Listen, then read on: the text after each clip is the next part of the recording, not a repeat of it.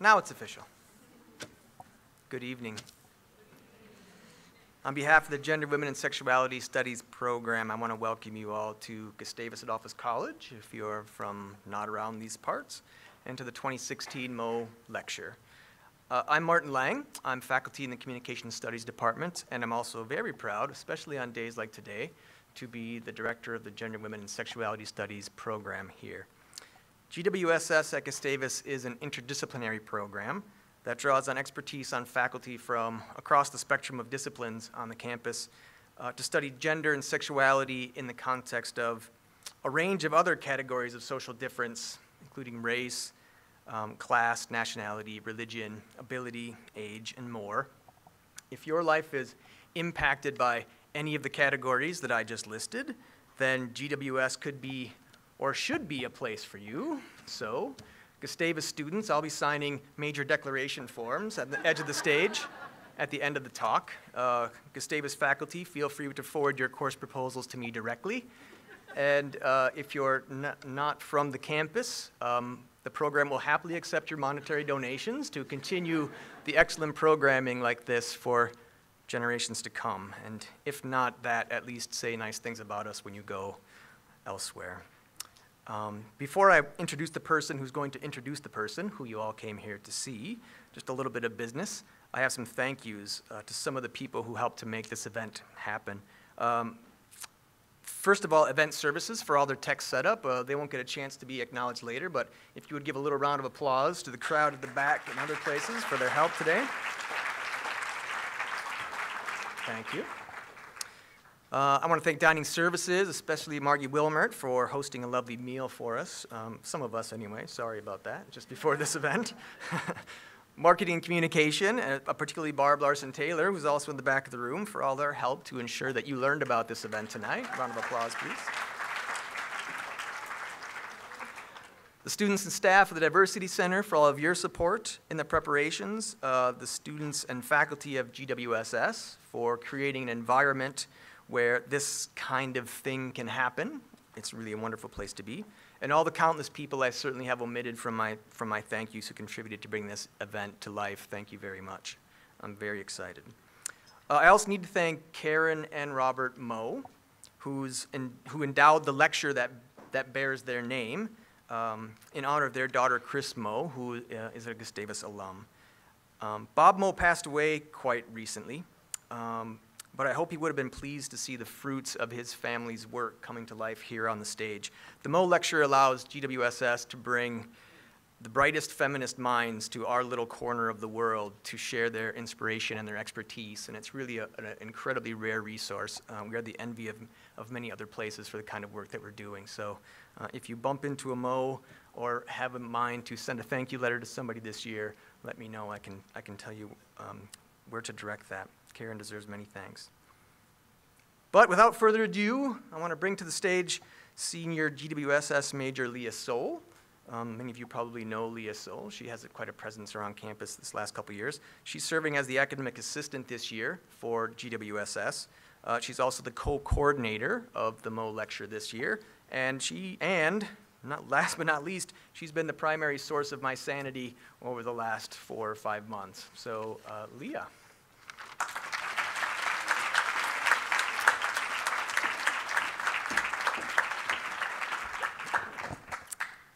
It is an honor and a pleasure to welcome Professor Kimberly Crenshaw to Gustavus as the 2016 Moe Lecturer.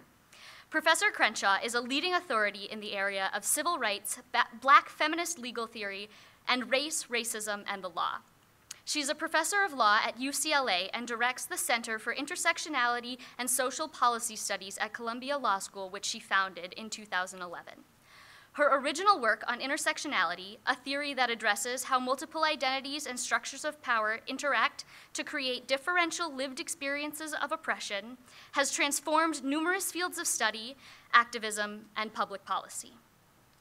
Professor Crenshaw has worked extensively within the U.S. on a variety of issues pertaining to gender and race, including violence against women, structural, ra- structural race inequality, and affirmative action.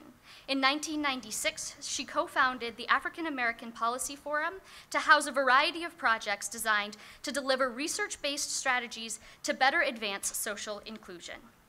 Her work on intersectionality has also traveled globally and was inf- influential in drafting the Equality Clause in the South African Constitution. Professor Crenshaw also authored the background paper on race and gender discrimination for the United Nations World Conference on Racism. For all this impressive work, Professor Crenshaw has been recognized in many quarters. She was recently awarded the Outstanding Scholar Award from the Fellows of the American Bar Foundation. She was honored in March as one of Harvard Law's, um, Law School's Women Inspiring Change, and in the same month was recognized by Diverse Issues in Higher Education as one of the top 25 women in higher education. In 2015, she was featured in the Ebony Power 100, a list honoring contemporary feminist heroes in the black community, and was number one on Ms. Magazine's list of feminist heroes of 2015. I can certainly say that Professor Crenshaw tops my personal list of feminist heroes. As a gender, women, and sexuality studies major, my understanding of feminism and social justice has been transformed by Professor, Cren- by Professor Crenshaw's concept of intersectionality. It has given me the language to discuss identity and power with the nuance and complexity that these ideas require. Intersectionality has instilled in my feminism a sense of responsibility to carefully consider whom my activism serves and how it addresses multiple interconnecting systems of power. In short, Professor, Crenshaw, Professor Crenshaw's work has pushed me to become a better activist, scholar, and feminist. Please join me in welcoming Professor Kimberly Crenshaw.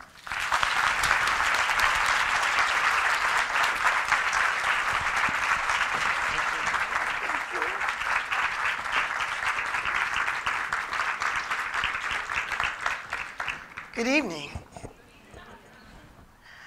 So um, first, I have to I have to give a deeper thanks than than than usual because the folks who brought me here have been working on that for about two years, uh, and they've been so incredibly patient um, and understanding.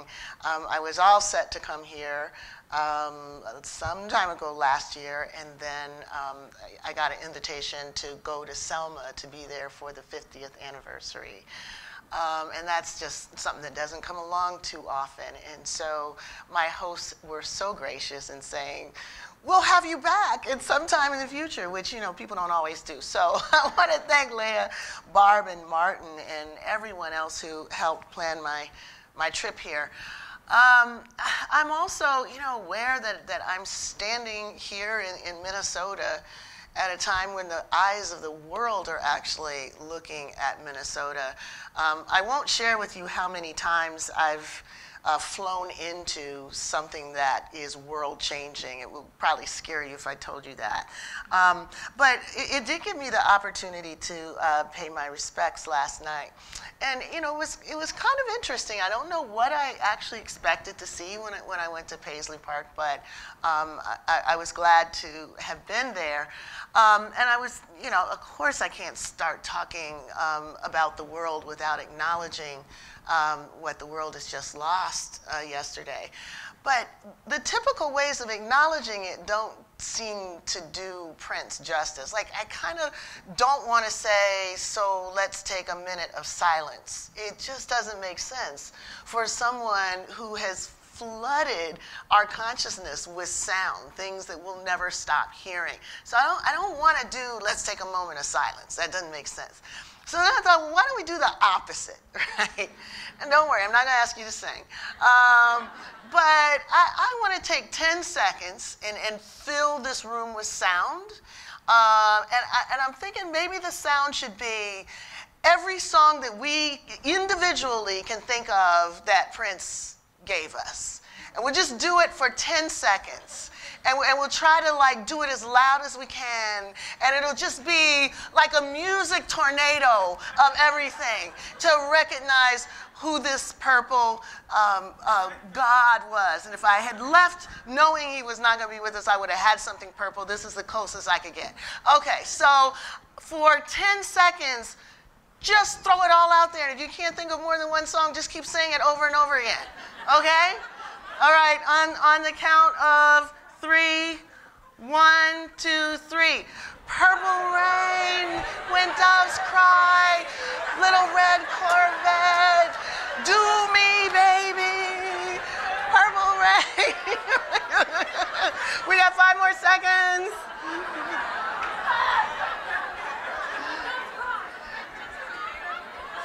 Okay.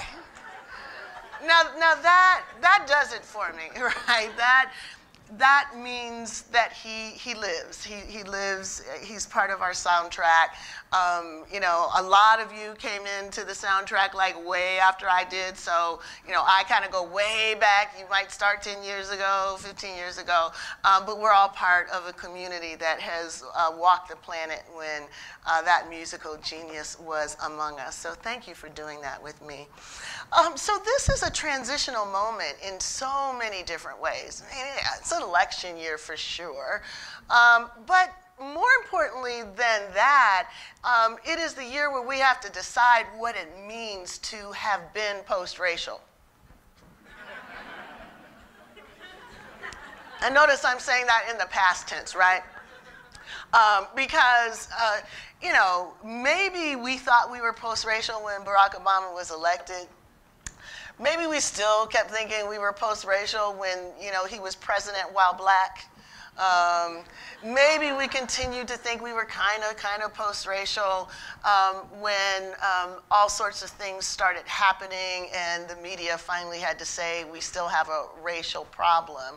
But I think any remaining sense that we were post-racial is kind of gone with the with the presidential campaigns, with you know people basically making proposals that um, would have made folks hundred years ago a little puzzled. Um, I think the question isn't now whether we po are post-racial, but are we now post-post-racial? Uh, and if we are post post racial, what does that look like? What does it mean to have been through a period of time when we thought some major transformation in our society was afoot because a person was elected president of the United States who didn't look like anyone else who'd ever been in the White House? Um, and now it turns out that, yeah, that was um, a singular moment, but uh, what that moment was about wasn't nearly as much as people thought it was going to be about, right? Um, we gained a black president. We lost the only black senator we had at that time. I mean, that was sort of a good trade-off, I suppose, but it suggests that there was still a racial set of problems that would continue even after the White House uh, became occupied by um, a black family. So, so there's a question of how we read backward, where we've been over the last eight years, and how we think about where we're going to go next with the conversation that we've been having um, about race in American society. So some part of what I want to talk about tonight is ways of talking about things. Um, I have a way of thinking about things, a way of engaging things, a way of talking about things. It's, it's shaped by my overall intellectual commitments to critical race theory. Most specifically, it's shaped by um, my interest, my tool, which I call intersectionality. It's like a handy all-purpose thing. I take it out, I put it on, I see different things than I might have seen had I not been using that tool. So what I want to talk about is how I've been seeing things over the last couple years, seeing things that might not seem to be things that a lot of my allies have been seeing. In particular, I've been seeing things that some of my allies in the anti-racist movement um, have been seeing differently than I do. And so I've been curious about why we see these things differently and have been talking about them. Um, and that talk has turned into some projects, and that projects uh, have turned into some movements. Some of them might be um, familiar, some might not be. I want to talk about all of them uh, today.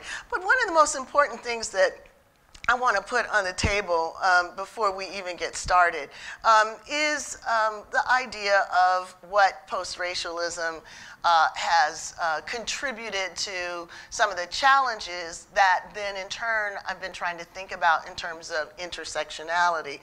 Um, so post-racialism is the backdrop against which a lot of the projects that we've been involved in at the African American Policy Forum might be defined. Um, we've been doing some work called Say Her Name that I'm going to talk about in a bit. Say Her Name um, is a project that is situated alongside and within Black Lives Matter. Black Lives Matter itself is a project that runs against the assumption um, that those lives don't. Not necessarily declared that they don't, but acted in a way that they don't. Institutions making those lives matter less. Say Her Name is an effort to say not only black lives as defined uh, by men um, or male identified bodies, but uh, by all lives um, that are circumscribed by anti black racism. So we've been talking about and lifting up some of the other bodies whose lives have been lost to uh, state sanctioned violence or whose bodies have been abused uh, by uh, officers who uh, uh, are rapists with badges. So, um, Say Her Name is a project against the denial of post racialism that these problems uh, still exist. Um, more broadly, uh, Say Her Name uh, is alongside of another project called Why We Can't Wait. Uh, and why we can't wait is a set of projects that are engaged with some of the dominant ways of talking about racism that have excluded women and girls of color. The idea is women and girls of color cannot wait for racial justice to remember that they exist. That's also a project against the backdrop of post racialism. So, all of these ideas are ideas that we uh, lift up and want to uh, make part of our projects for thinking about race and racism uh, in the 21st century. Now, one of the things that uh, race and racism uh, is uh, defined by and, and um, now becomes part of the dominance conversation about race um, is the distinction between uh, what was traditionally or pushed out of the conversation in post racialism and what was in it. So, what was pushed out of the conversation is any notion that racism still explains any part of our social uh, terrain. Um, what was not pushed out was the idea that race explains uh, part of our social terrain. So you might be scratching your head. How can you have a post racialism that says racism is no longer explanatory, um, but race is explanatory? Well, I'll give you some examples of it that you might find familiar. Um, so, when um, there's a debate about uh, the police uh, and any killing of an African American, um, those who support the idea um, that there probably wasn't any kind of police brutality will usually resort to um, explanations like, you know, blacks don't respect the police. Um, black men are uh, overly aggressive. Um, it's necessary to give police the benefit of the doubt because policing in those communities is particularly dangerous. Now, that's a racial explanation. Sometimes your most avid post racialisms, uh, people who support post racialism, don't mind using a racial explanation to explain a particular kind of disparate outcome. Right? That's a distinction between saying we can't talk about race versus we can't talk about racism. Those folks talk about race, they just don't think that what they're saying is racist right? So, so when you have a formula that says, okay, there's certain racial differences, uh, differences in um, the attitude people have, the willingness to work, their respect for the police, that's a conversation about racial difference. What it's not is a conversation about racial power. So when you have assertions of racial difference as an explanation for a racial inequality, that doesn't have any acknowledgement about racial power, namely the history of racial discrimination, its current embodiment in a lot of our institutions, in our culture, when that's not part of the equation, you effectively have an argument that says individuals and groups are responsible for the things that happen to them. These are not structural problems, they're not institutional problems, they're individual level problems. And the solution to an individual level problem is an individual level solution. So it's not a matter of legal reform, it's not a matter of institutional reform, it's not a matter of new rules to constrain new possibilities. It's only a matter of reshaping individuals so they can fit within the avenues that are available for them in society.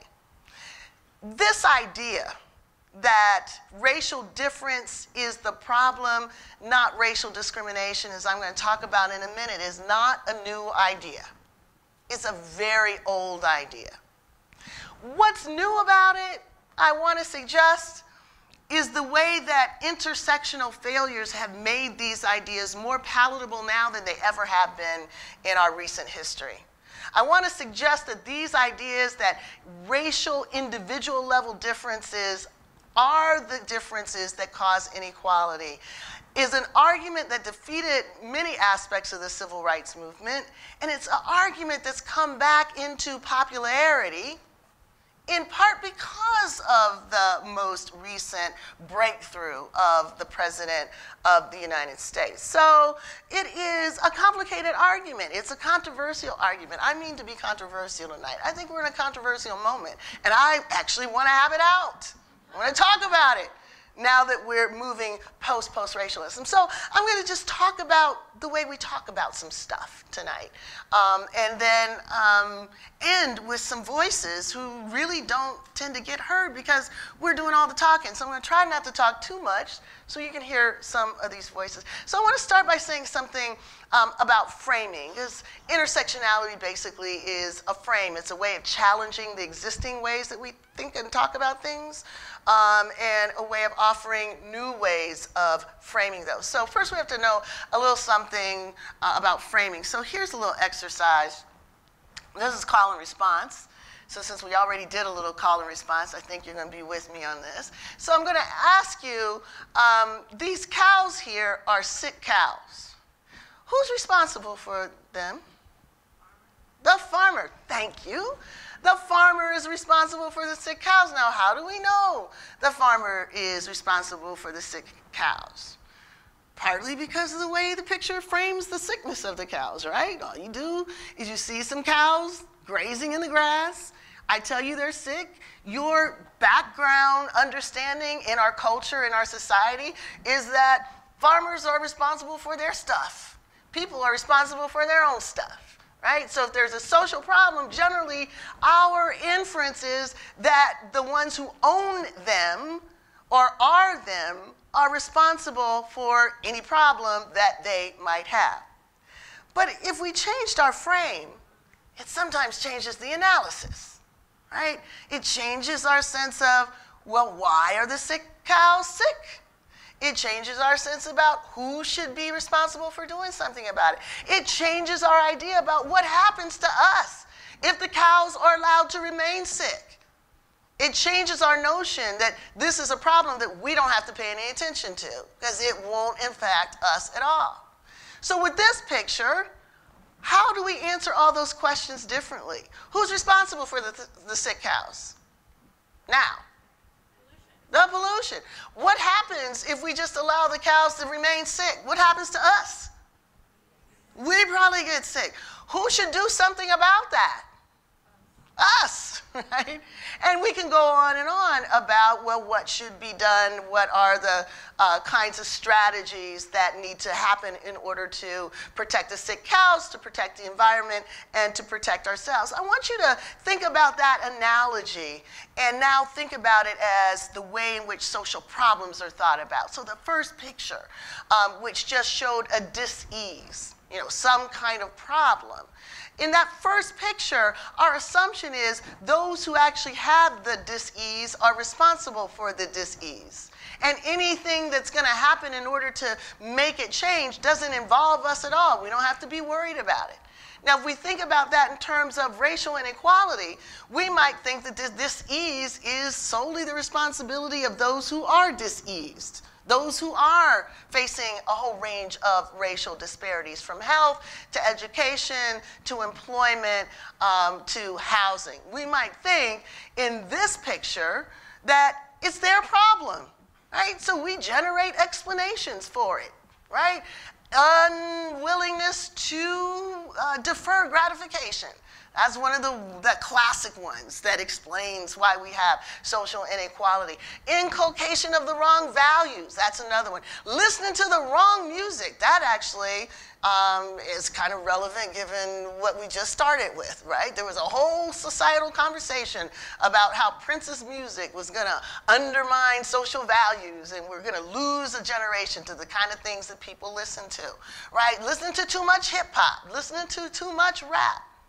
Another explanation for why the cows might be sick and it's their own responsibility. Not enough bulls in the herd, right? It's another argument. It's a classic one. It's been around for a long time. So when we think about our social problems, we think about them like this. It's easy to say those problems are not our problems. But when we broaden it and we understand that in a social, historical, cultural space that is shaped and defined by racial power, by racial inequality, by institutions that were designed to create and perpetuate that, that these inequalities are part of an environment, and that environment is part and parcel of the disease that we all have to be attending to. It also tells us that we cannot let these diseases continue and think that we are also unimpacted by that. So this is just a way in which we understand how frames tell us what kind of problem it is, who's responsible for it, who's got to do something different, and what we can afford to do while we sit by and not let something happen. So now let's take what we've learned um, about frames um, and think about how frames have done a certain kind of work in how we think about racial inequality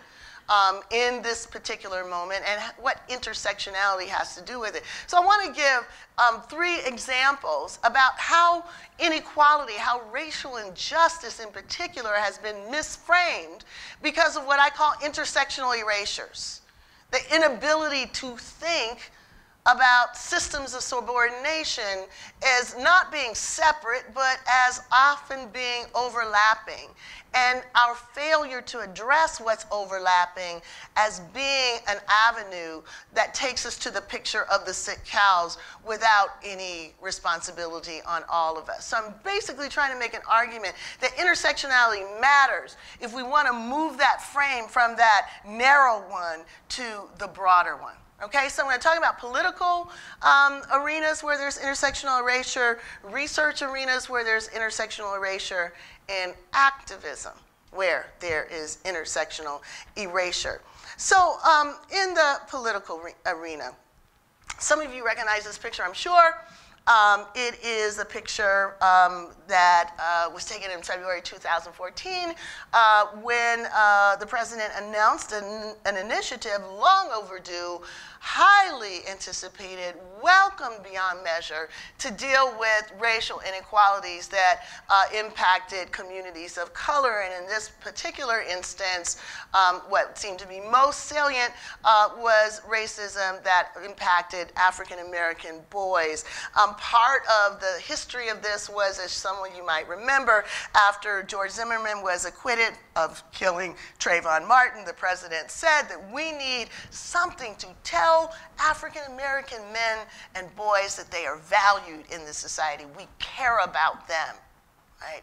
This jury verdict does not represent what America thinks and feels um, about its men and boys. And we've got to do something. He said, I'm going to use my bully pulpit, no government programs, but I can use my government, I can use my bully pulpit to actually make a difference. So um, what came out of it was my brother's keeper. It was a recognition that men and boys of color are facing particular kinds of obstacles that undermine um, their futures, that make them more likely uh, to be incarcerated, more likely to be killed, more likely to be underemployed. These are problems that the president says we need to address.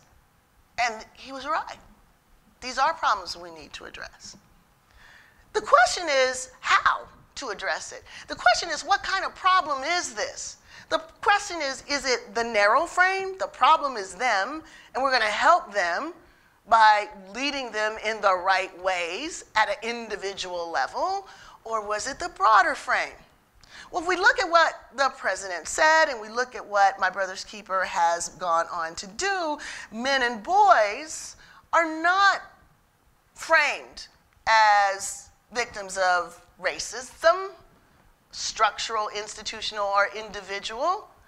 They might be victims of race performances, but not racism. What are some of those race performances? They are the performances of living in single headed households. They are the performances of not having strong uh, father figures in the community. They're the performances of not investing in education, but investing in a cool pose. It's all these ideas that boil down to there's some behavioral problems. They might be understandable where they come from, but the way we fix them is to create mentorship programs, to create individual level interventions, right? So what's on the table is a lot of individual kind of stuff, a helping hand, right? A kind, loving person. All that's important. But what's not part of the conversation, what wasn't on the table, is an understanding that this is all happening in the context of defunding public institutions, asset stripping of urban landscapes, the unleashing of the police force with diminished oversight from federal courts, the shifting of resources from service delivery to, to group management, the emphasis on individual punishment rather than institutional and structural reform. All these are background factors that are in the bigger picture, the clouds in the sky. So, what this program really focuses on is the individuals, not the environment, not the context. The context is not mentioned. The racism, the racial power is not one of the things that MBK is trying to fix. It's trying to fix the boys inside the power dynamic. A lot of people sometimes use the idea of the miner's canary. Do you guys know the miner's canary, right?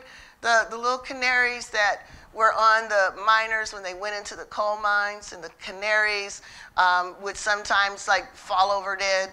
Um, and that was like an early warning system. Get out of the mines. You know, carbon monoxide. You know, they can't handle it. You can't.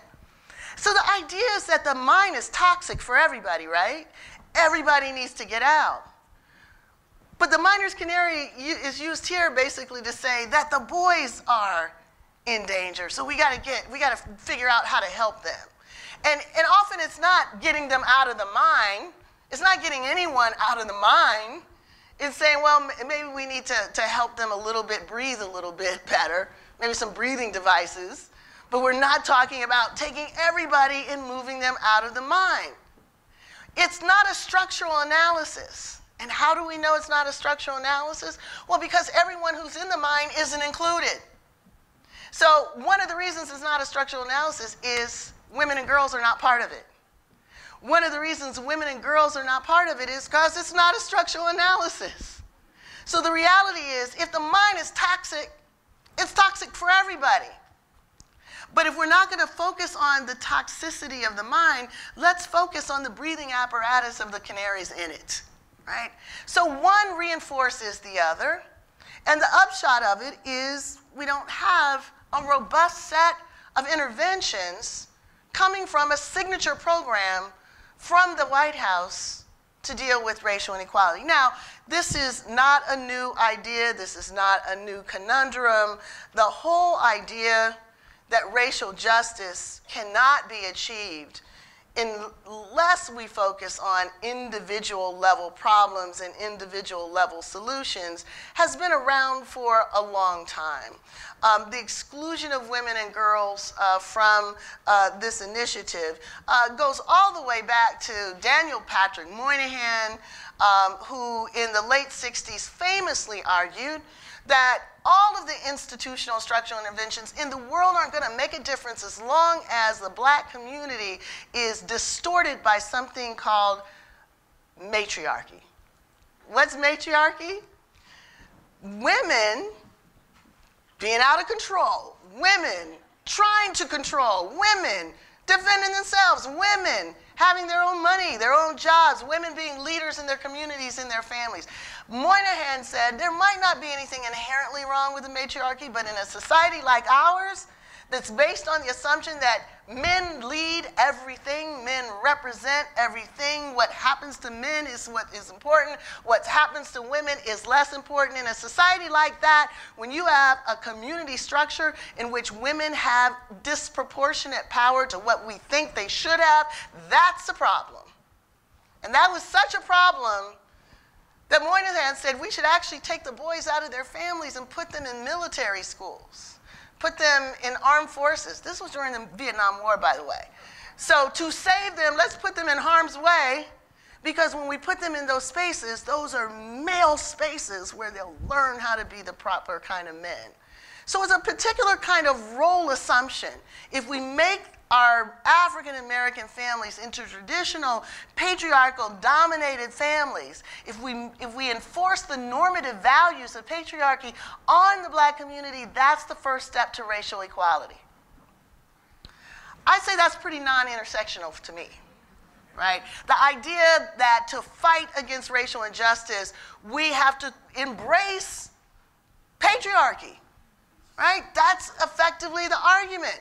Now, that, was, that argument was, in my mind, kind of dead 50 years ago.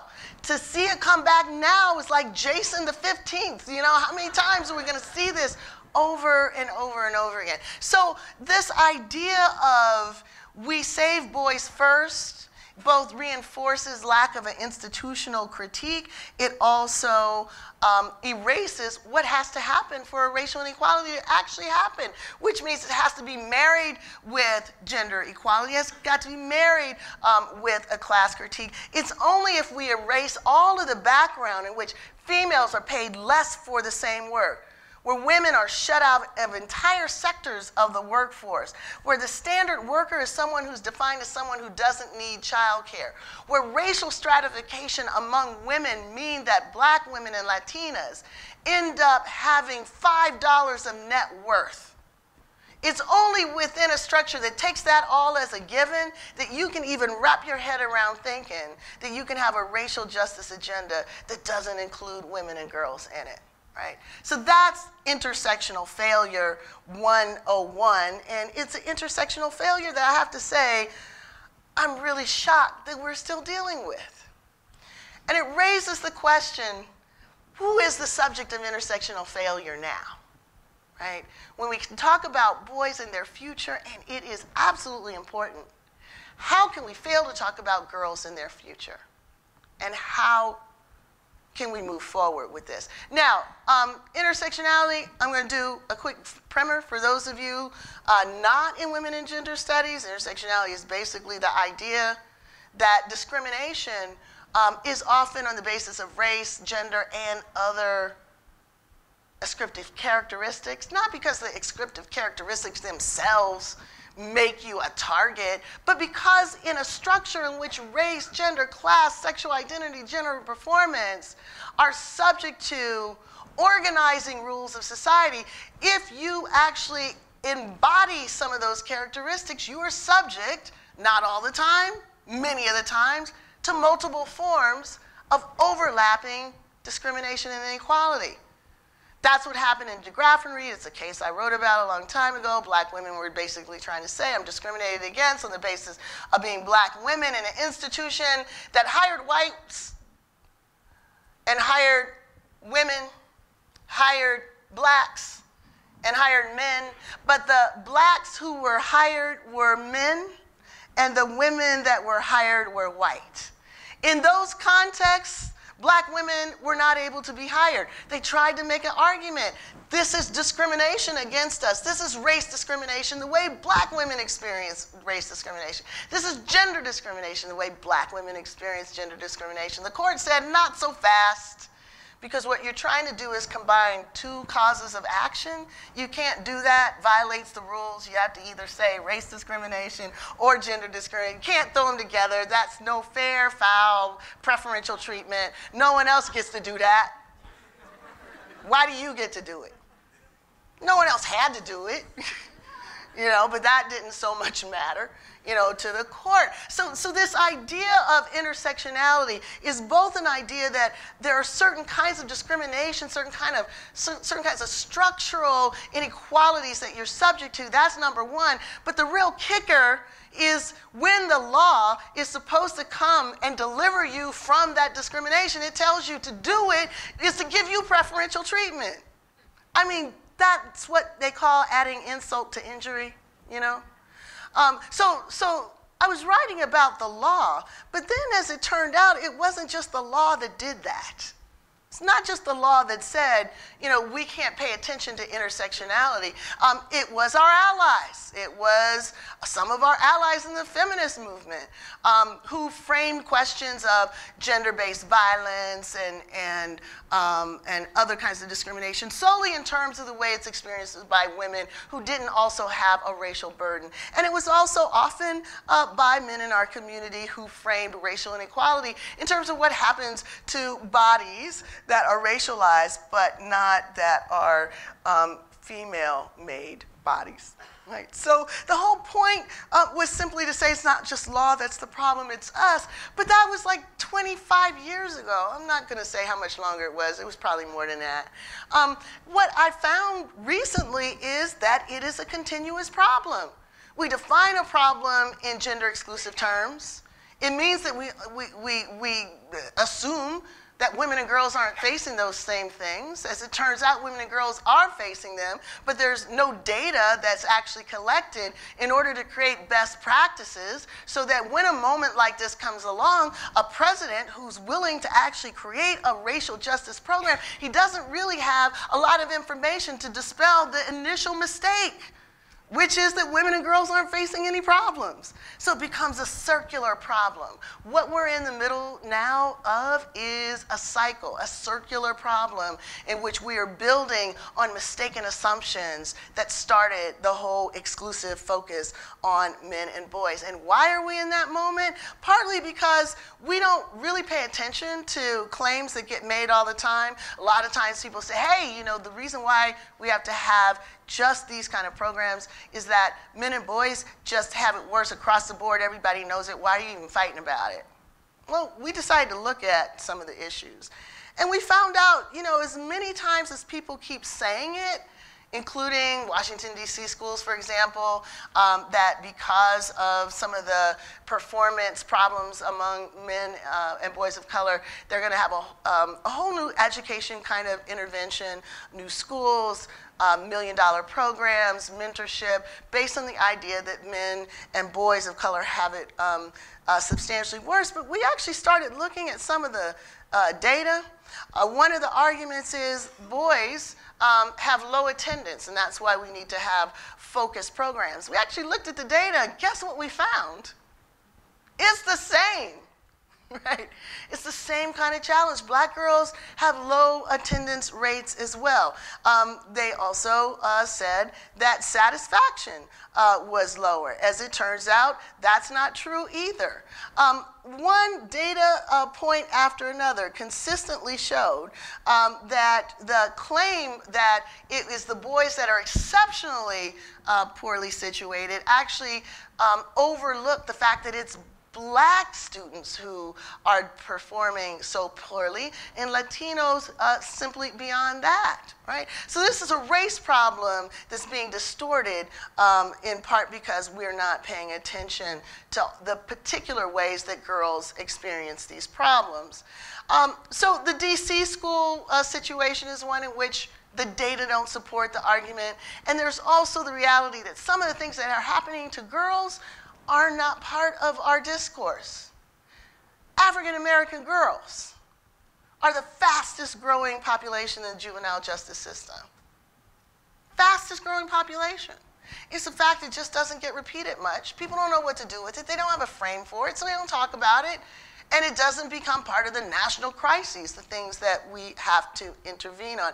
We decided that we wanted to look at what's happening with girls in the school to prison pipeline because there was so much conversation um, about boys in the school to prison pipeline, and we know that's really a problem, but we assumed that because we don't talk about the girls, it's not a problem. So we decided let's look at the girls. We looked at the girls in New York and in Boston. So just as a quick way of reading this chart, um, the, the, the, the pictures on the left, uh, the first picture is the population, um, and the second picture is the discipline rates. Um, so if you look at uh, black girls in the first quadrant, that's their population. If you look at the discipline rates, that shows you how much more they're disciplined than anyone else in their cohort. So across the board, black girls are tremendously disproportionately disciplined as compared to all other girls. And if you compare the chart from top to bottom, you can see the relative difference between the disproportionality that black girls face and the disproportionality that their same race um, brothers face. Right? So they're both disproportionately punished. But the level of disproportionality actually among girls is greater. There's a greater spread um, between girls. It doesn't get talked about enough. Overall, we found that black boys are three times more likely to be suspended. Black girls, six times more likely than their white counterpart. It's a way of measuring discrimination that we don't typically talk about because we don't think about race as playing out between women. We just see it as between men and women being sort of secondary. This is what happens when we cast the intersectional lens and actually look at race discrimination between women. We asked women, we asked girls what happened in school. And they told us about the stereotypes that are particular to women who are black, blacks who are women have an attitude, hard to control, opinionated, loud, rude, right? Not proper ladies. These are specific stereotypes against specific kind of women, and they led to the disproportionate exclusion. This is the intersectional discrimination and the intersectional abandonment. There really isn't an agenda to deal with this problem. So no one is paying attention to it. Last area intersectional erasure in mobilizing movements. Black Lives Matter, we all know about it now, right? We all know how many black bodies have been killed by the police. What we don't know, what's not part of this movement, is the number of women who have been killed by police. Black women are also killed by police, right? But it's really not part of our discourse, partly because we don't envision them. So, so let me do this for a moment, because We've been sitting here for a while, and um, I want to roll into showing you a quick video, and then I'm going to sit down. But to get us ready for it, I want us to loosen up a little bit. So I want everyone just to put up one hand, and when you hear a name that you don't know, I want you to put the name and put your hand down, and it's got to stay down. Okay, so no popping back up, right? So everyone put one hand up, please. Okay, Michael Brown, Trayvon Martin, Eric Garner, Tamir Rice, Freddie Gray. Okay, so we got about half the hands up. Natasha McKenna, Tanisha Anderson, Michelle Cusseaux, Mya Hall. Okay. So about half of you knew all the men. No one knew all the women. The women's names that I mentioned are all women that were killed within a week to two weeks of all the men who were killed. Okay? This is telling us something about what frames allow us to see and not see, right? Women are also killed by the police, but we don't talk about them. We don't talk about them. We don't have a narrative put them in. If you don't have a narrative, you forget the facts, right? If the facts don't fit the frame, you can't remember the facts, right? So, say her name, quite frankly, is simply a way of talking about all the different circumstances in which black women have lost their lives to police. You know, some of these names you might know, but many of them you don't know. Black females as young as seven and as old as 93 have been killed by the police. Killed in the streets, in their cars, outside of their homes, in their living rooms, in their bedrooms, in their beds. They have been killed by police who they raid their homes on mistaken warrants. They've been killed when they or their family members have sought help. They've been killed when the men that they were with were targeting. They've been killed when they are alone. They've been killed driving while black, shopping while black, having mental disabilities or an emotional crisis while black, being homeless or poor while black. They've been strangled to death, beaten to death, tasered to death, and shotgun to death, sometimes repeatedly at close range, sometimes in the back. The vast majority of them were unarmed, and very few of them were engaging in anything that could remotely justify the use of deadly force. This picture you, hear, you see here, Natasha McKenna, um, who was tasered to death, a woman who was having a mental um, breakdown and asked for the police to come and give her help. They arrested her, put her in a cell, went to extract her with six men dressed in hazmat uniforms, as you can see here. She was completely defenseless, nude. They handcuffed her to the door, told her that she was resisting threw her on the ground, tasered her one time, put her in a restraining chair, tasered her another time, handcuffed her to the restraining chair, tasered her a third time, put a hood on her, and tasered her a fourth time. Everybody was acquitted. No one was even charged. And they released the video. You can see this if, if, if you want. They released the video to reinforce that the officers had acted professionally. Now, black women, like black men, share this vulnerability. They share the assumptions that they're superhuman, that they're undisciplined, that their very bodies put officers at risk. They share that. What they don't share is recognition. What they don't share is outrage. There, there are no marches for Natasha. She, she's not a name that we all know. Nobody is demanding, you know, any national moratorium on her behalf. Why? She's a woman. She's a black woman. She's not someone that fits within the narrative of racial abuse. She's not someone who fits in the narrative of gender abuse. So these are intersectional challenges to the way we think about our movements. When we think about rape and gender based violence, do we think about the police?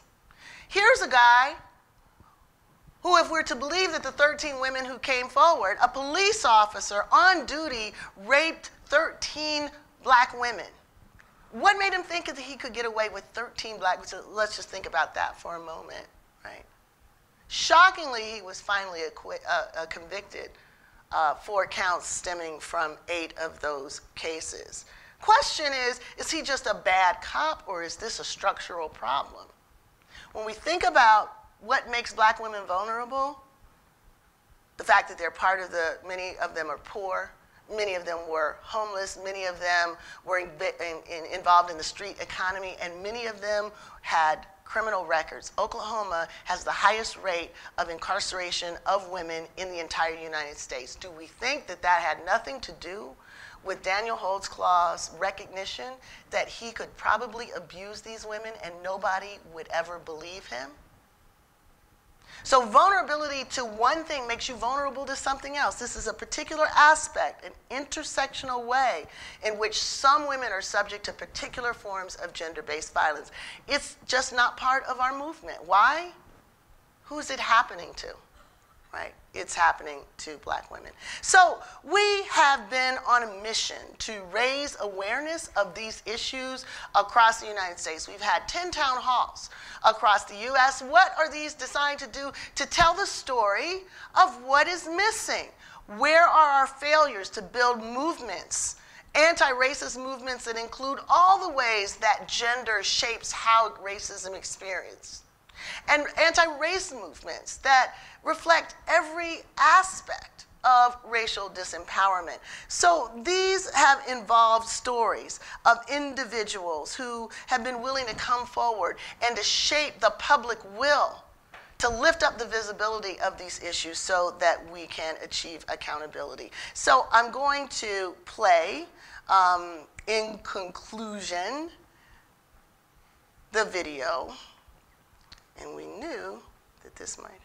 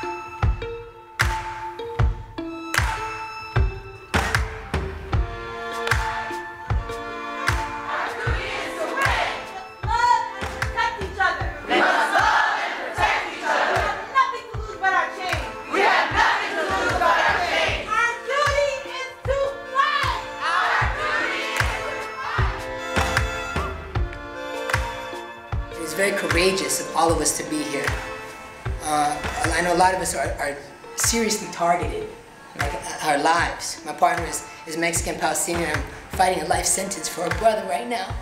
And we're targeted, and it takes a lot of courage to stand up.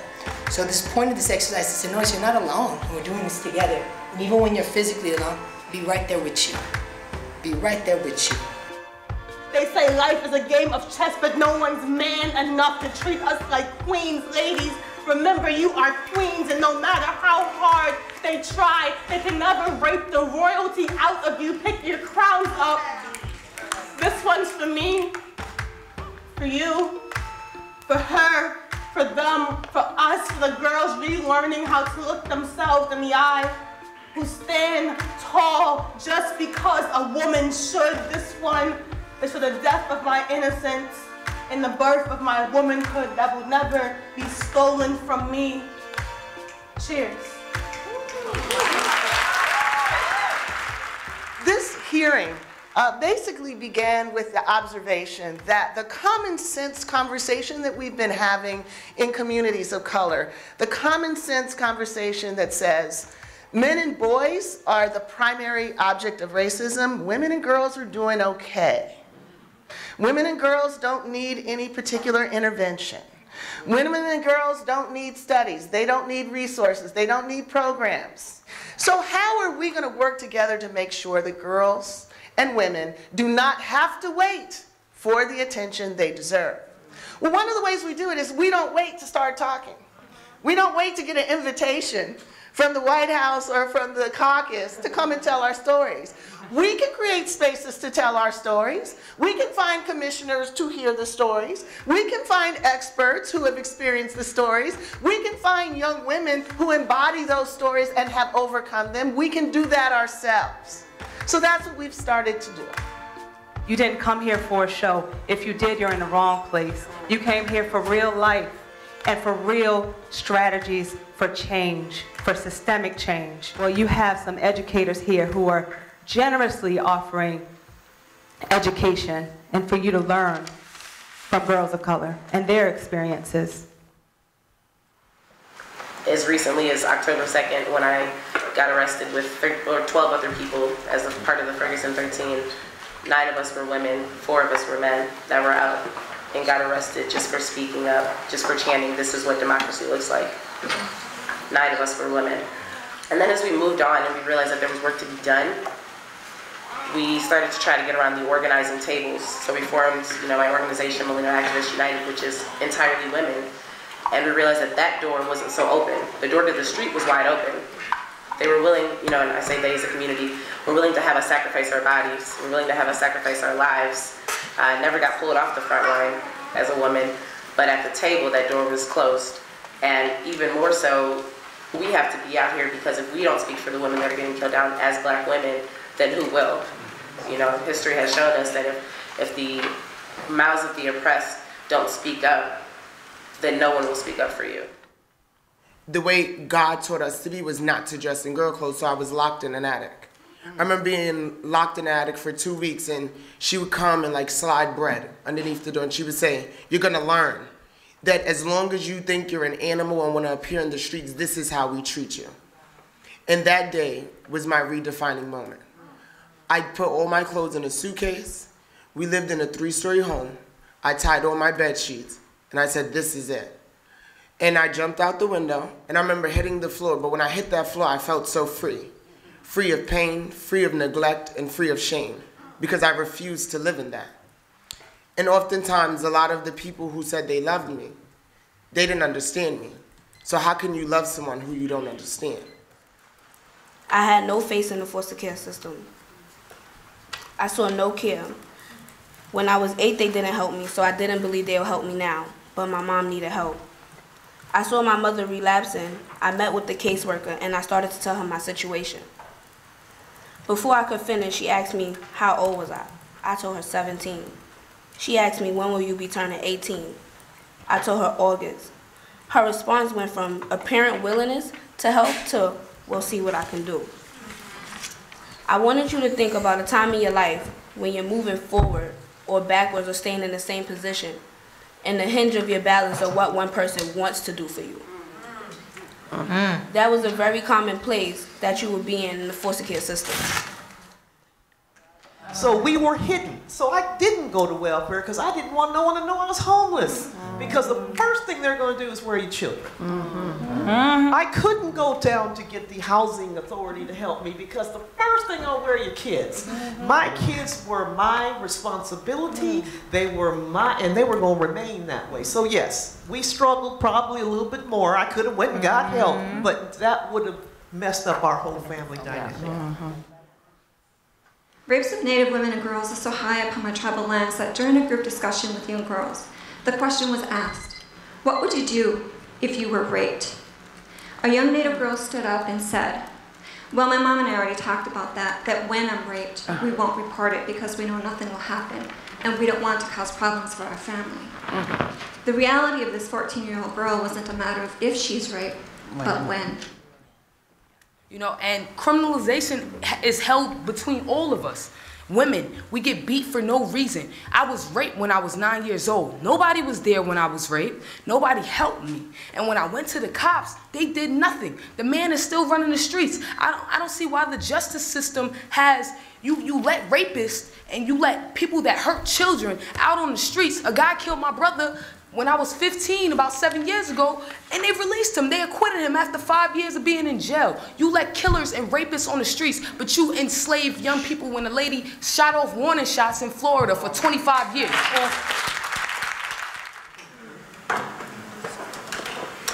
I didn't want to view it as a racial issue. I didn't want to until I followed some cases down the road a couple of months later. A white woman went to go buy drugs from the projects. She got thrown from a window.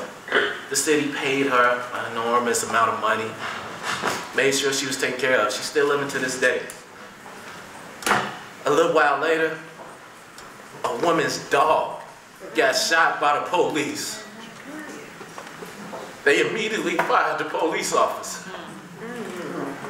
Immediately gave her, compensated her, and said their apologies. You want to know what they said to me? Well, you close your eyes and you will see exactly what they said to me. Mm-hmm. Nothing. I went down to the mayor's office, we rallied, they wanted to get us arrested. The superintendent of the police, he said the shooting was justified. Mm-hmm. How is the murder of a young black woman justified? It's not. That is innocent. You tell me what the justice is in that. We went to trial. Four of us went to trial. Me, um, Venice Brown, Renata Hill, Terrain Dandridge. We went to trial. Um, before trial, they kept a lot of evidence out of trial. They wouldn't allow us to talk about our backgrounds from um, some of us being raped to police brutality, police harassment, um, men harassments. They wouldn't allow us to talk about it in, in trial to justify why we reacted the way we reacted. The media dehumanized us. They called us vultures, a wolf pack of lesbians. Um, we we had no chance. We was found guilty before we even went to trial. And one thing I wanted to talk about today, you know, is thinking about in all the story, really powerful stories and testimonies we've heard that oftentimes women, in addition to doing these things, are responsible for caretaking, right? So, you know, while we're being harassed by those construction workers, we're walking home, rushing home often to feed our brothers and sisters that we're, we're responsible for, right? So while we're dealing with being immigrants, xenophobia, the oppression that comes along with maybe being undocumented, we're also running with our mothers to the doctor's office to be translators. That's right. Mm-hmm. Right? So while young moms are dealing with being young moms, we're also cleaning up beer bottles maybe from our uncle, mm-hmm. making sure people are coming in safe at night. And this often adds, you know, undue pressure in our own lives, right? Potentially, you know, pushing us out of school, forcing us to get, you know, jobs, second, third jobs, working late into the night while we're still responsible for caretaking. I spent a big part of the summer interviewing the black women in my family for this book I'm working on on familial relationships with trauma, sexual violence, language, and food. I never heard the words rape or sexual violence or sexual assault in my house as a child, though I saw the effects of it on the faces of my mother and my aunties. So I asked my grandmother directly about her experience with rape and sexual violence. My grandma in a wheelchair now, so she had me wheel her around to the side of the house. There she, I kneeled down and my grandmama told me a story about the white foreman at her job and what he did to her. Mm-hmm. She told me a story about the white man who owned the house she cleaned and what he did to her. Mm-hmm. She told me a story about her black father and what he did to her. She told me a story about her black uncle and what he did to her. She told me stories about the white, black, and Mexican men who worked on the line at her chicken plant and what they did to her. She told me stories about the deacons at the church, men we all looked up to and what they did to her. Mm-hmm. And finally, she told me stories about what her husband, my grandfather, did to her. Mm. And when she stopped talking, she forced a fake smile and she rubbed my back and she told me, I'm okay, Key. Mm. I'm okay.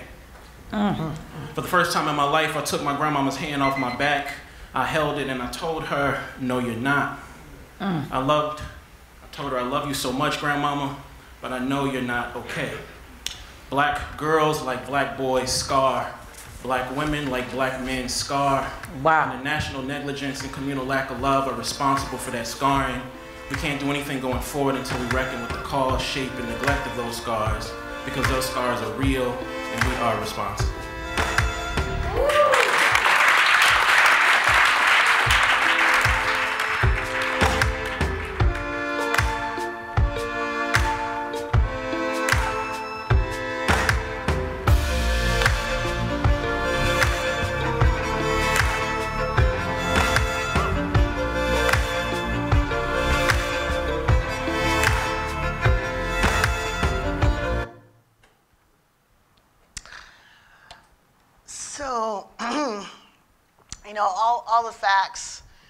Won't do anything until the public will to address these issues is curated and nurtured. And that nurturing has to begin by centering the lives of women and girls in settings where their allies, their families, their public officials, and others understand the contours of the lives that otherwise would be written off. So I, I hope this video um, uplifts those experiences and the barriers that women and girls of color face um, across the plateau. Um, and that it helps create an agenda that leaves no person uh, of color in and outside the quest for racial justice. I really uh, can't think of a better time than now to create a new inheritance for um, uh, our sons, our daughters, every um, child in our community born today, not a better legacy than the one that we can foster that supports an inclusive vision of racial justice, one that uh, tends to the needs that genuinely embraces all of us. Thank you.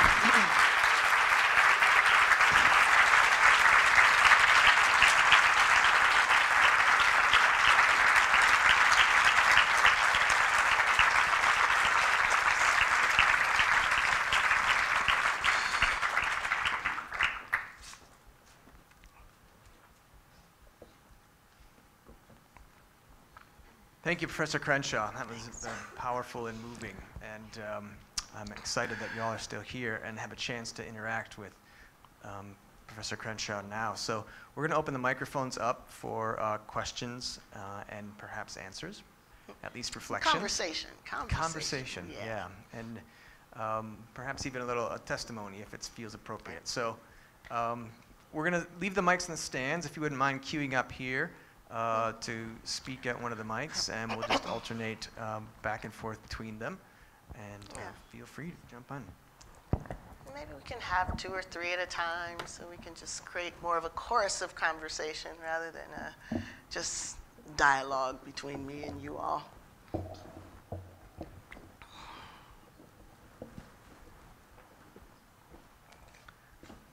Don't know, Professor Crenshaw, if you spent a lot of time in Minnesota, but this is the Minnesota way. It'll take Yeah, probably three yeah, or four no. minutes I thought as much. thinking about it. You know, we can talk about a few things. Yeah, yeah, yeah. Come on up. Um, this might be my first time being nervous speaking. You are a hero to me, so it's an honor to be this close to you. um, so I do educational programming around relationship violence and sexual assault and gender issues. And I work very closely with um, the transgender community as well. And obviously, when you're talking about sexual violence, race needs to be a part of that conversation as well. So, as an individual that holds not only a racial but a gender privilege, I oftentimes get pushback uh, about that when I'm trying to have these conversations. Do you have any insight or advice on how I can continue to bridge that gap while acknowledging my privilege? Hmm. Okay, that's a good question. Any, any others to pair up? Have a convo? All right, I'll let you guys simmer a little bit. Um, you know what? Um, I tend to think about that from the vantage point of when I first started writing from the position of the person without the privilege and how I wanted some of my colleagues with privilege to respond. And it's actually a little different from how some people thought about it. So um, I wrote Mapping the Margins after maybe two years of doing a lot of um, anti-violence work in contexts where there was almost always a debate about the extent to which the white feminist framework was capacious enough to be responsive to the ways that women of color experience violence. And there were, um, you know, obvious, uh, um, actually uh, different points of view about what should be done with that critique. Um, there, there, there were some who made the move, um, you should be an expert on my experience and you should say something about it. Actually, that wasn't my position. I didn't want, I didn't want that. What I wanted was space. What, what I wanted was the handing of a baton, or at least showing it to me, where I could figure out where I could grab onto it and, and, and remake the conversation to the extent that I thought it was necessary to make clear what difference my difference made. Because I wasn't really about just add my name to the list and I'm happy, right? I wanted a more substantive engagement on the issues where I thought it really mattered. Some of them were clear differences and some of them actually were not. And so my point was let's create the space, the conversation, the camaraderie, the trust that's necessary for me to trust that when I start telling you what, where my differences are, where the an- analytical um, consequence of those differences is made clear, that you will take that up and move with it. So I wanted space, right? I didn't want, I didn't want them to fill the space with more of their talking. Um, and that, that to me is how I think about other moments like this, right? It's, uh, a question about how um, does this framework accommodate and address transgender issues, immigrant issues, uh, women who are differently abled. Um, you know, there, there are a range of ways in which intersectionality plays out. I think the project is an ongoing developmental and coalitional one. And the question is, how do we create the space for those new articulations to come to, to fore? So sometimes it's being more quiet. um, sometimes it's saying, this is the, this is the degree to uh, it that I can understand. I can, I can, you know, um, think beyond where I'm at, but of course, I can't think completely into another space, and I shouldn't.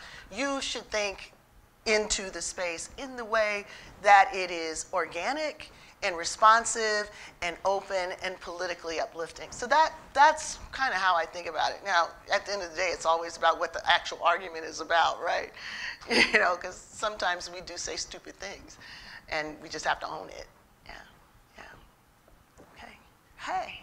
Hi, I'm Shannon Miller. I'm chair of the Department of Gender and Women's Studies at Minnesota State Mankato. I'm also a black lesbian mother. And I'm just curious, um, I, I hope you hear, feel my question and where it's coming from. Where I see intersectionality and how it's misused as almost post-racial. So intersectionality is post-racial. Yeah. Um, and where and how racism is missed out of intersectionality. So, um, being someone who studies multiple identities, holding these multiple identities, I find myself, particularly in gender and women's studies spaces, uh, pushing for the racism and race and intersectionality and getting this. Well, we can look at other identities and how they intersect, but missing the piece, the foundation on race and racism, or the post-racial racism in um, gender and women's studies is saying if I just name a race, then I'm doing intersectionality. Mm-hmm. So yeah, yeah. Um, I appreciate that. Um, that's not how I think about intersectionality, you know. Um, so, but I will say that I recognize that move. I will say that I've seen it, um, and um, can you know kind of. Uh, give you um, a whole set of stories about it being made in, in to me. like, you know, um, you're, you're not intersectional because you're talking about, you know, structural racism. And I was like, I think to talk about structural racism, you have to be intersectional. That's what a structured inequality looks like. It's structured through you know, a matrix of power, and you need to be comfortable, you know, talking about that. Um, so I recognize it. I don't agree with it. Um, uh, I think what is challenging um, um, is what do we make of the fact that it happens? Is it a problem with intersectionality? Is it a problem with um, the constant desire to escape racism? More particularly the constant desire to es escape anti-black racism. That's a real distinction in our capacity to talk um, about race. Um, is it simply the fact that all theories and concepts and ideas are multiply um, uh, open to lots of different deployments? That's, that's you know, what ideas you know, do a lot. So I'm not, um, uh, I'm not overly stressed by it. Um, I kind of see people using all sorts of things for to shut down conversations. A, a case in point that's um, also uh, implicates intersectionality. A lot of new conversation about class. We should have, you know, class-based interventions. Um, uh, these arguments are often deployed to suppress race. We don't want to talk about race, let's talk about class. The moment race is off the table, those folks who want to talk about class are gone too. You know, so um, I think that, and, and that's of course not saying anything about the value of a class critique, the value of an understanding of economic formation, the value of understanding the history of capitalism, the fact that it's sometimes used to suppress something else doesn't mean that that stuff isn't all right. It just means people are using it like they use any number of ideas, um, often as aggressive ways of shutting down other ideas. So for me, you know, the move is simply to use intersectionality back, right? To say, no, intersectionality is not non-racial, it's not post-racial, it's a particular way of thinking about race. That's, in my view, what, what intersectionality brings to that conversation. Hi. Hi. Thank you for being here. Thank you. Um, so, as a woman of color, I've dealt with discrimination throughout my entire life. I know what to do. I know how to react. Um, when I draw, where I draw blank is when I face discrimination um, and racism from people of color and women of color who are in very much the same or similar situations to me, and I, I like don't understand it and don't know what to do about that and why it's happening. So tell me more about what you don't understand about it. I get not knowing what to do, so but I, I feel like it's, I think it's internalized oppression. So you But understand it? I do understand it, but okay. I just don't know what to do about it. Okay, all right. Good. I thought we were going back further. Okay, so now we're on the same page. Yeah, okay. Um, I get it too. Um, I get it too. right? From from allies, uh, people who ought to be allies, from students, uh, from colleagues. Um, so you know, in when, when we say we live in a society that's structured in a hierarchical way, it means that it's structured, right? Um, it means that even those of us who are situated in particular subordinate ways in relationship to others can also reproduce that uh, to others.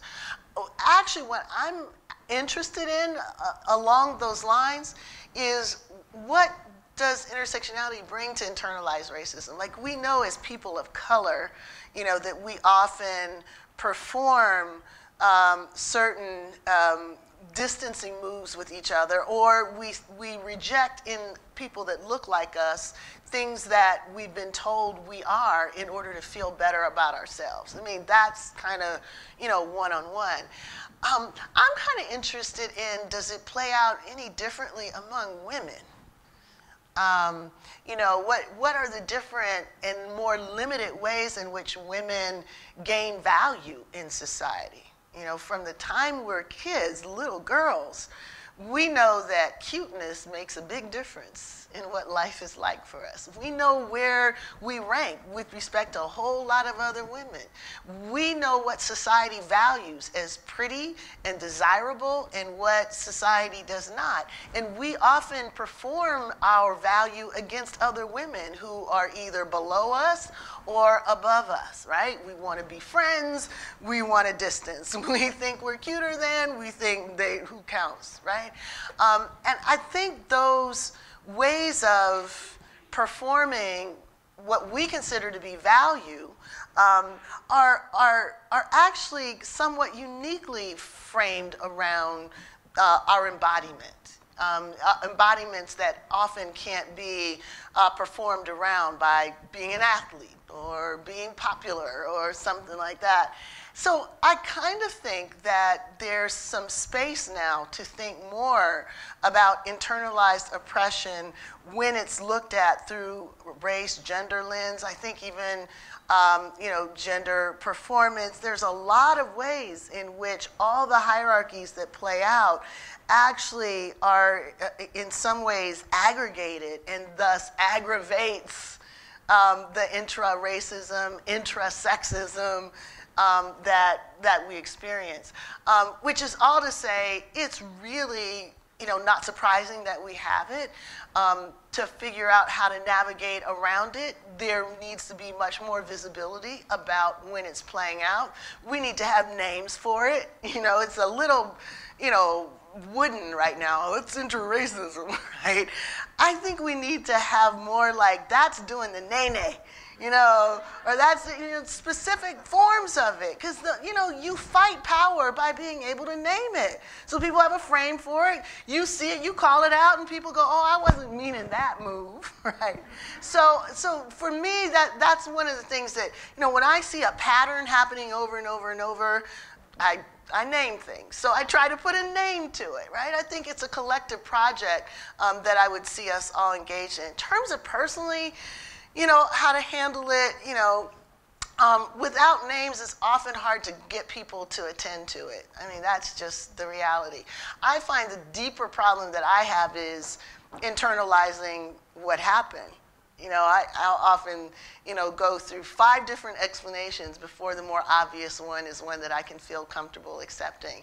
And I want to get to a point where I can get there faster and not really carry the burden of the repudiation because that's a repudiation that actually hurts more than the repudiation that you've been taught to experience or expect through your entire life. So I don't know if that's helpful other than I can say, I, you know, I feel you, I see it, I think we should work to name it. Hi, I'm a student here and I'm involved in some campus organizations that deal with like big overwhelming problems and I guess I'm just wondering what do you do to stay inspired and what do you do to keep moving forward in the face of like massive societal issues? Yeah. Um, so I, I get on planes and, and go to places like, you know, here to see bright, shiny faces like yours who, you know, spend a Friday night in a room like this, who really want to talk about issues like the ones we've talked about. I mean, as long as there um, are people who see these issues as things that really do make a difference in your day, you know, that really do call, you know, upon your time and, and you know, more of you, um, it's, it keeps me inspired. So, you know, if there were five of you here, I'd be inspired. It's like five people wanted to talk about this. It's really important. The fact that there's a whole lot more than five of you, I've got some inspiration to last for about, you know, six months. So this is a good, this is a good thing. Um, so that keeps me inspired. In fact, now having done this for a long time, um, seeing student, former students actually come back and tell me amazing things that they've done um, and things that they've done that they, um, you, you know, that were structured onto things that we worked on and talked about being able to pick up the phone and talk to someone and say, you know, I have a problem, I have a student who's looking for uh, that kind of thing, building a network of transformation, a network of possibilities. You know, there's nothing quite, you know, as satisfying as that. Now, would I like to see like the real time possibilities of a lot of this stuff actually being, you know, moving our society? Yeah, I would like to, to see that um, uh, quickly. But I have to say, this conversation here um, with women and girls of color, in the last year, um, the White House has had a major convening on women and girls of color. Not quite in the frame that I would like, but they did it and wouldn't have done it were it not for women across the country standing up and insisting. Um, just last month, um, there is uh, there was an announcement that there's going to be um, the NoVo Foundation is going to spend 90 million dollars on women and girls of color. Um, this is a foundation that used to spend a lot, along with a lot of other foundations. Their vision of women and girls of color was not one that had a USA zip code. You know, so the whole idea that, you know, uh, lift half the sky, you know, educate a girl and you educate her family, all this stuff applied over there. It never was something that people talked about here. That's changed in less than two years. Right? Um, uh, African American congresswomen uh, last month announced that there was going to be a caucus uh, on uh, black women and girls. That's unprecedented. So, so these are, um, you know, changes that the changing discourse has made possible. That's tremendously efficacious. Just the fact that some people refuse to shut up made certain things possible. So if they start yelling, I can only guess what might happen. So all that's inspiring to me. Hi. I'm a junior student, GWS student here, and something that I noticed in the video, um, specifically talking about the struggles that black women face, my question really, I'm asking how existing as a black woman in a space like Gustavus where the commonality or the solidarity within those, those specific experiences just aren't there, how do you find solidarity or how do you find a mode of space that will actually you know, push forth that action when, you know, people can just get tired of listening to you and tell you to shut up, especially when you don't have people standing with you in solidarity all the time. Yeah, yeah. You know, you guys ask questions that are like, yeah, tell me. I'm trying to figure that out too. I mean, I teach at Columbia Law School. You know, so I mean, it's kind of like, yeah, that's that's that's kind of the challenge. Yeah, go ahead.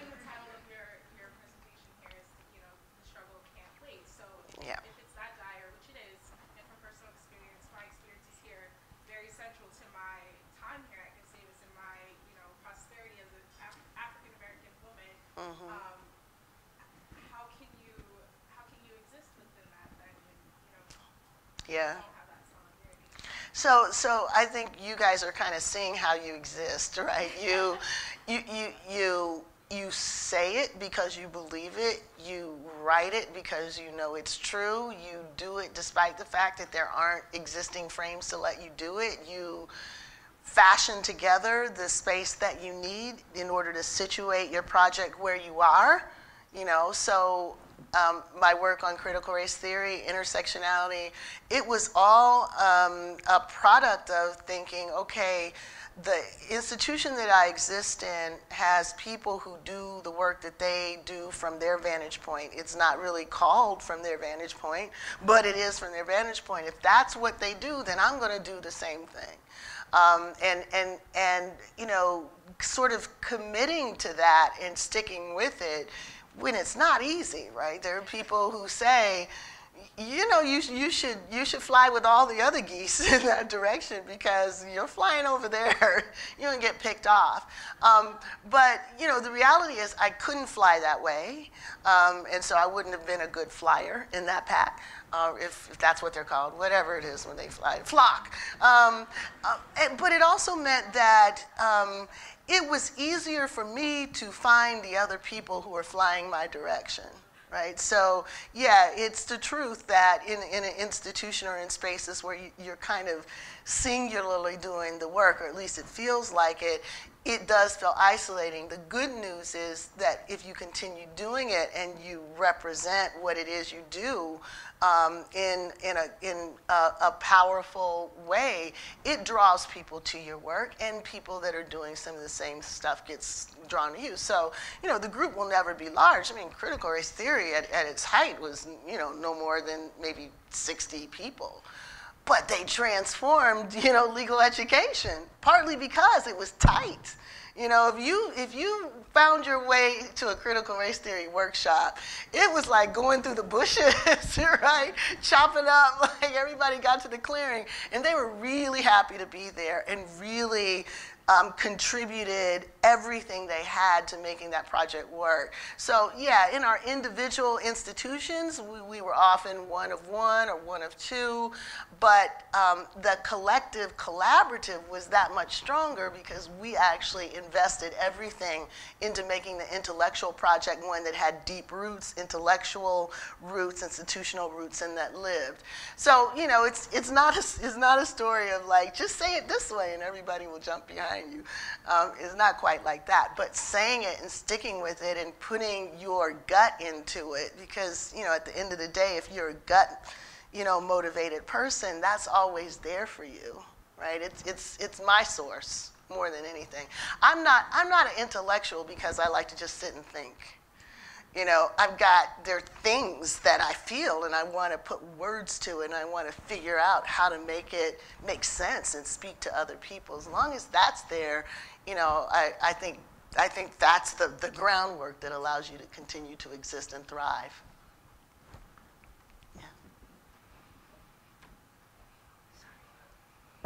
Hi, um, I'm currently working on a fiction story where one of the main characters is um, a black woman, a woman of color, and um, I just, as someone who doesn't have that perspective, I was just wondering if you knew, like, what were the ma- what are the major problems currently with representation of women of color in fiction?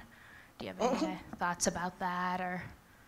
Well, okay, um, that's a, that's an interesting question. You know I do law, right? Yeah, I was just wondering if you had any thoughts, or I knew that wasn't really your Um, area, but. You know, n- nothing. I don't have. So I don't have thoughts about like things that I, if we were having drinks together, I would say, hey, you know, so and so and so. But just, you know, basically try to pontificate on something when I'm sure there are people here in the audience who have much more expertise on it. I, I would feel kind of weird saying that. Okay. But I was, but I think it's a good question. So, uh, so I, I, I'll say, I'll say one little itty bitty thing. Who's got some thoughts about this? I see something.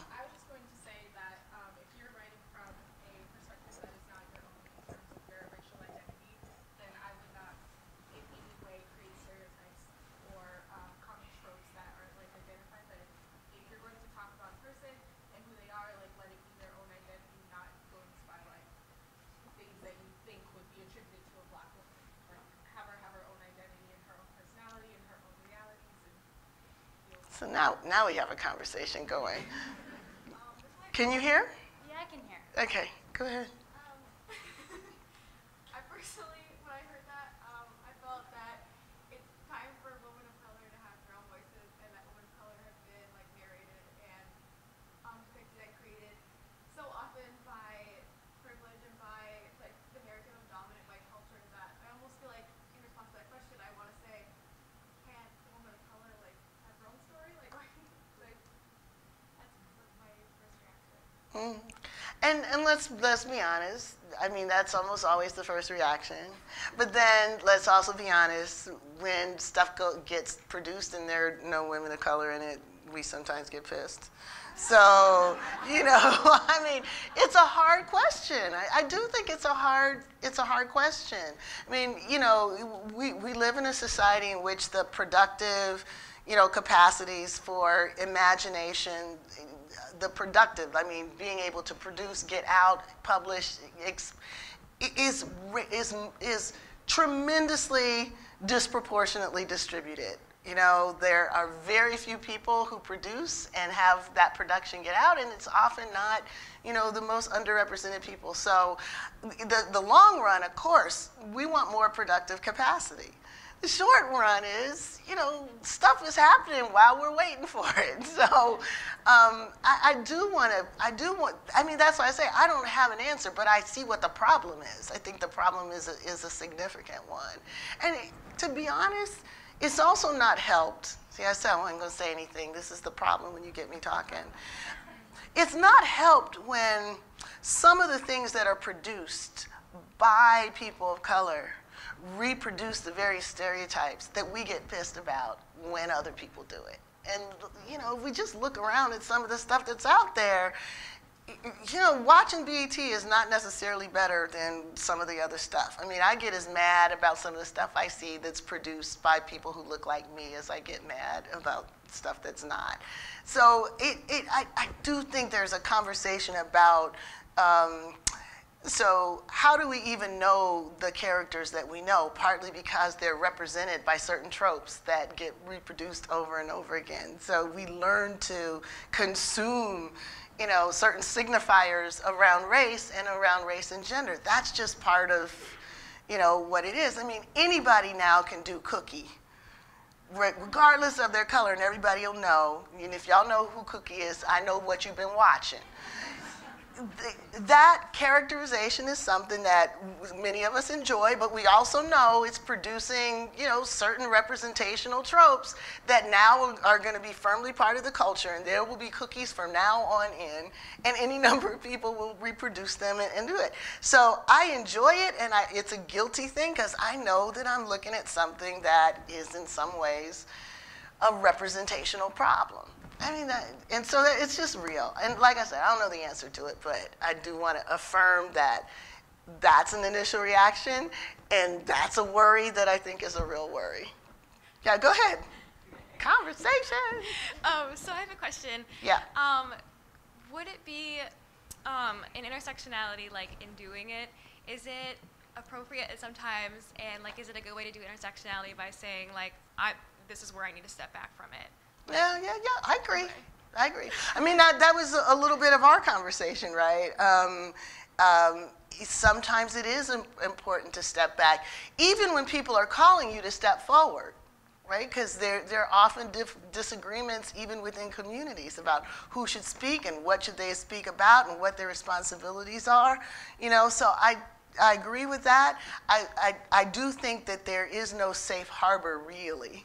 You know, at the end of the day, you've got to simply take into account, you know, different ways of being unresponsive and just figure out what is the course of action that you most believe you can support. And, yeah?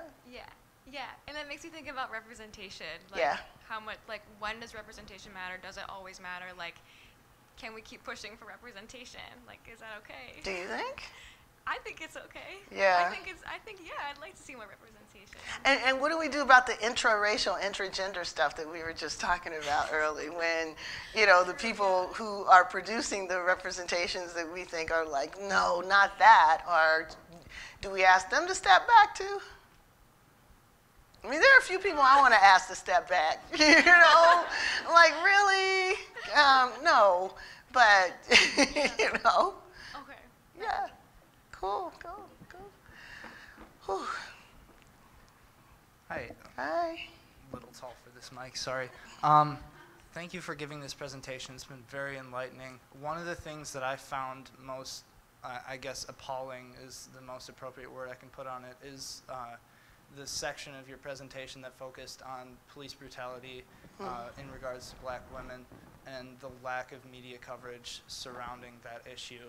Um, I was wondering what you think, this is another I think question, I'm sorry about that, but um, what you think uh, is, is the best approach for us as consumers to kind of change that, Mm. change that norm, change that Yep. like tendency in the media. Thank you. Thanks for that question. Um, so we just have so our white our say her name campaign um, was our way of trying to figure out a, a simple way to begin, which is um, you know an imperative. Uh, say her name, which means you've got to go know her name, which means you've got to actually look to find who they are, and they're not going to be given to you. Um, so uh, actually, that's a great segue because. Um, uh, we have we have say her name stuff out there. Uh, we created a report that has as many names that we could find in the context in which these women were killed. The idea being, um, you need a frame, you need a narrative around which to understand what makes certain women vulnerable to police violence. What are some of the factors? So um, the the the report actually has uh, the names um, and the stories. But beyond that, um, we, we created a, a word puzzle um, that has the names of um, dozens of black women killed by the police, but you actually have to look at it. You remember those puzzles that you used to have as a kid and you circle the name? We wanted that to symbolize you've got to work for it. It's not as though it's just going to be handed to you. You have to take it upon yourself to actually look and try to find it. I'm telling you, it happens. But the media is, are not going to tell you that it happens, which means that you've got to take the extra step, exercise some serious agency in trying to be part of the Say Her Name movement. So, um, as consumers and as activists, um, we have to be critical uh, and know that the spaces in between the stories are the stories, not just the stories that we get. Um, for any of you who watch Confirmation, I've got some stories to tell you about that. Um, but uh, the basic the basic point is that if there is more demand to say their names, if we make it part of the practice, then the practice will actually drive greater accountability. We started Say Her Name. We were in, in marches in New York and um, in in Los Angeles, and um, you know the names were part of the chants. The names of the men were part of the chants, and so then we would start chanting women's names, and people would look at us like we were crazy. What are you talking about? Right? So some people, you know, gave us the big thumbs up. Thanks for, you know, including the women. Others were just aghast. I mean, they would come and look at the posters like, how can this be? And we're like, yes, it can be, right? Because this is not just about um, the police against hypermasculinity. This is not just the framing of you know modern day lynching. It is modern day lynching um, through um, different kinds of ways in which certain bodies are made vulnerable. It's not all just male. Um, so um, once we started saying it, um, you know, people started joining in and giving us names and, and writing to us, did you know about this case? Did you know about that case? So of the two things that I want to say, um, be aggressive in finding the information. Um, and, and number two, share the information once you find it. It's a whole new world now um, with digital media. This report that we made would not have been possible because there is no database that collects all the information. And those uh, newspapers that do collect the information often don't report what happens to women because they don't know what to do with it. So we had to rely on family members who posted things, lawyers who posted things. It was basically a democratically produced um, piece of, of information. So join us in that. Um, the African American Policy Forum is online. We like people to come and look at our stuff, sign up. You know, we'll flood your email with all the stuff that we can find, and, and that's uh, effectively the way we're building the movement outward. Hi. We have time for two more questions. Okay.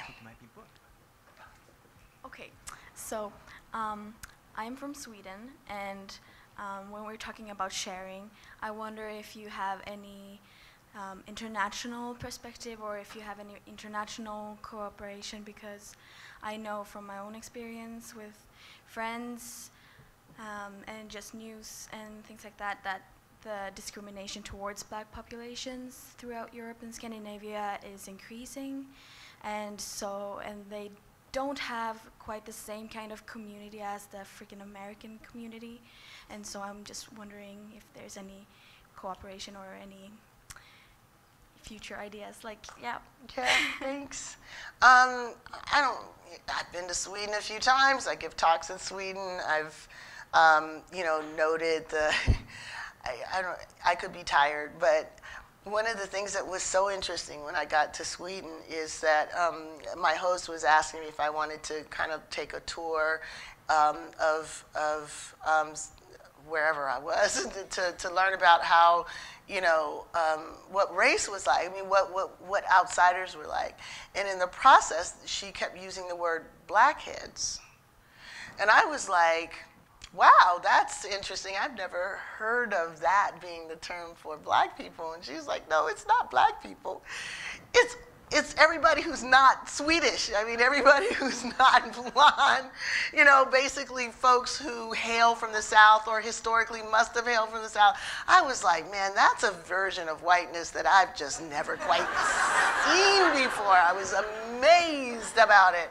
Um, but that said, it was, it, you know, it was, it was very interesting just to see how you know, we all know race is socially constructed. It's marked differently in different places. So, you know, the racial structures of discourse and how people were represented applied to people who in this country would never be seen as a racial other. So I just kind of, I mean, I won't say it blew my mind, but it was really interesting to see it play out in a place where I was looking at most of the people and I saw, you know, I saw white people. Um, and, and obviously there were distinctions. I understand that now, you know, it was like maybe several years ago since I've been there, with immigration and with, you know, the refugee crisis and a whole range of things, that the questions around race have become heightened. I think it is a, um, a, a um, a, a, a, potentially explosive situation in part because in European um, academic discourse, the framing around race is highly contested. Um, I, I, mean, this is the case with respect to intersectionality. I, I went to a conference one time, inter intersectionality, 20, 20 years of intersectionality. Um, and, and the debate was, we like intersectionality, but we're not so sure about this race stuff. So can we kind of take the ideas and apply them and work with them without having to take that baggage crap that comes from the United States? So it was really interesting because you know I didn't ask to go there. I mean, I mean I was invited, um, and so I think one of the challenges is that because the dominant sensibility is that race is not something that's endemic to Europe, the resistance to some of the conceptual and political tools that have been developed in other contexts, like UK, South Africa, United States, that are robustly about race are really, really contested. So now that the race problem has, you know, the wool has been ripped off, I think it's really driving the question whether those demands are going to come from, you know, society and how they're going to get translated through the academy the reason why I exist and, and many scholars of color and women exist is that the academy here was expanding at a time when all these movements were coming up. And so spaces were made, not a lot, but spaces were made for, you know, scholars of color and women to be part of it. The European Academy is smaller, tighter, more traditional, more patriarchal, more white. So whether that will actually develop into intellectual projects is one question, and then whether there is a political movement is actually a co connected one, but a slightly different question. So yeah, I'm interested to see how it's going to unfold there. Yep, yep. All right, and then my question was um, related to one of your early points in the thing about how racial difference and inequality, without talking about racial power, creates like an individual response of blame. Yep. And I was something that I made a connection to with some of my classes is um, the focus on particularly U.S. capitalism on individual, like mm. if you work hard enough, you should be doing this. It's your fault that you're poor, things like that. Yep. Do you think that plays into the way that race is talked about as well? Absolutely, okay. absolutely. Yeah. Like, like, um, you know, the so the most I won't say the most significant, but one of the myths that gets deployed against the argument that we still are living in a post-segregationist, post-slavery society is the myth of individualism, is the idea that you know, people get what they work hard for. And it's a myth that people believe even as they're experiencing privileges that have been passed down to them, right? So you can you can believe that, you know, I got this education because I worked hard, even though dad took out a loan on our house to get it, and other people don't even have a house to take it out on, right? So, you know, um, some, some, well, I'll make a, I'll make a, a pitch too about tomorrow. So tomorrow we're gonna have a structural racism training. And it is a simulation where we play um, this game called the structural, um, the, the, the um, unequal opportunity race.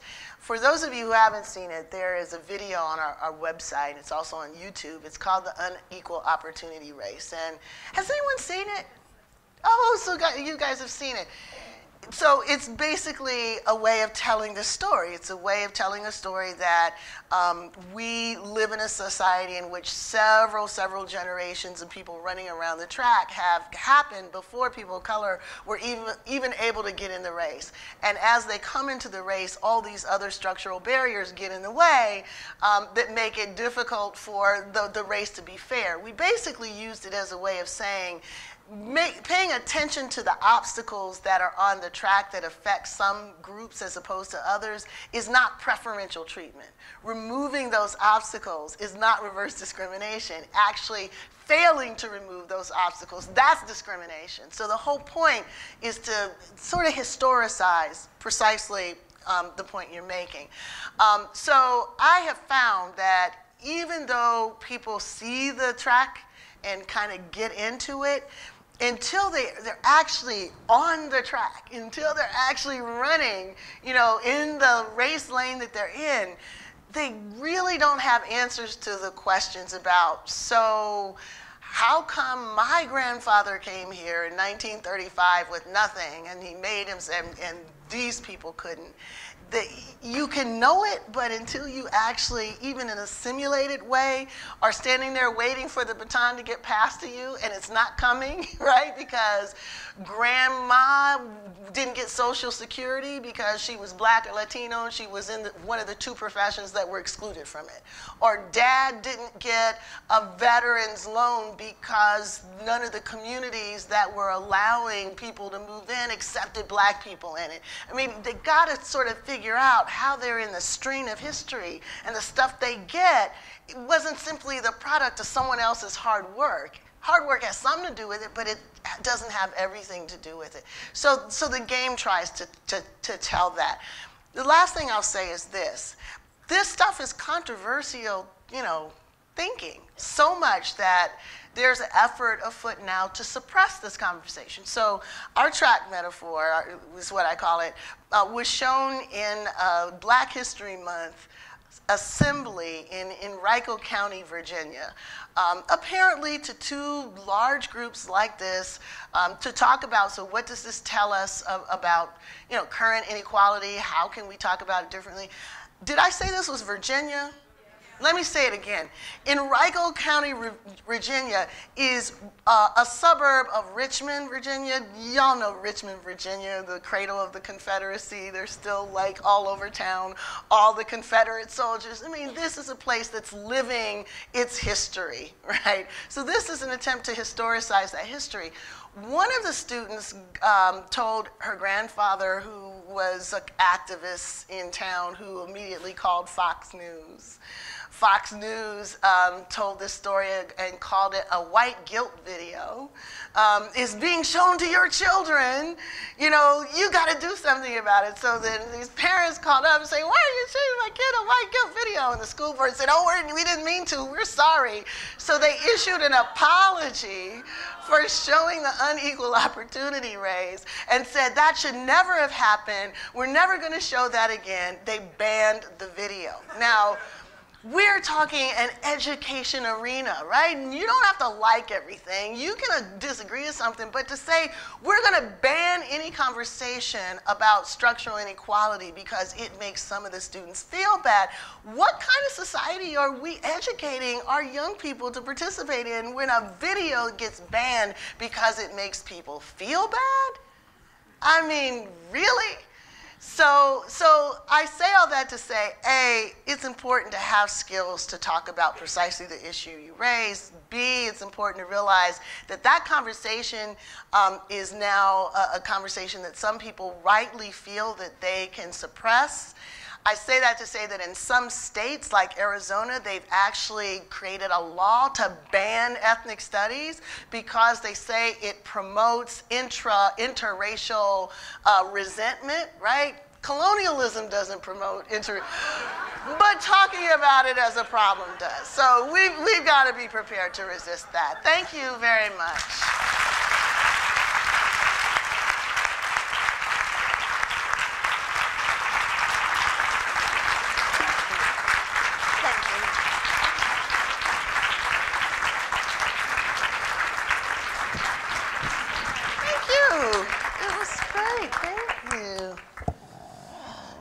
Thanks again, Professor Crenshaw. Again, if, if, if you're moved by what you heard here tonight, or if these are interesting things to talk about, uh, major declaration forms right over here. Step right, step right up.